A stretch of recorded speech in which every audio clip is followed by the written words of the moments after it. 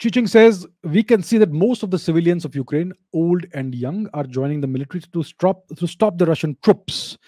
Is this a sign that the, that Russia may may lose the war? So you are right, Chiching. The uh, the I would not say all of them or most of them are joining the the war effort, but the Ukrainian government has released lots of prisoners, criminals, and given them weapons.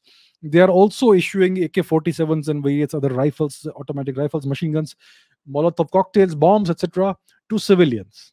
Right? So they are doing that too.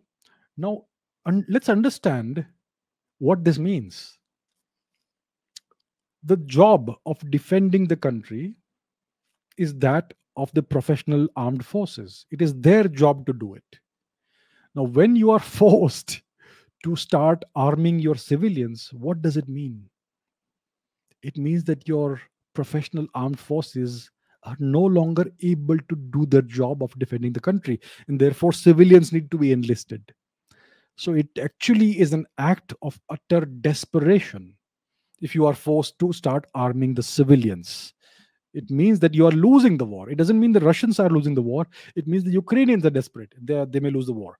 And the other reason why they are arming civilians, it's a very cynical thing to do, is to, to have more civilian casualties. See, if you if the Russians the Russians have been instructed not to deliberately harm any civilians, and we are seeing the evidence of that on, on lots of video clips that are circulating. They're not harming civilians in the face of all kinds of protests and provocations. But imagine the Russian soldiers come face to face with a person who's holding a gun. In that case, they have to treat that person as an enemy combatant. They have no other option. When you come across, when a soldier, when a professionally trained soldier comes face to face with a person holding a weapon, they are compelled to treat that person as an enemy combatant. And then what will happen is you will have civilian casualties. And that is great for media propaganda. The russians are killing civilians. There are so many civilians who died.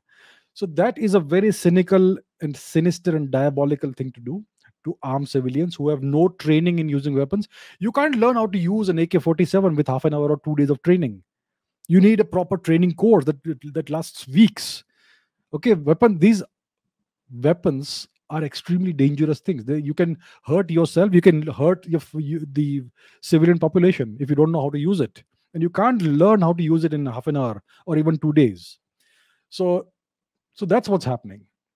So, if civilians are joining the war effort, it means that the Ukrainians are desperate and they are losing, and they are trying to create unnecessary civilian casualties in order to win the propaganda war.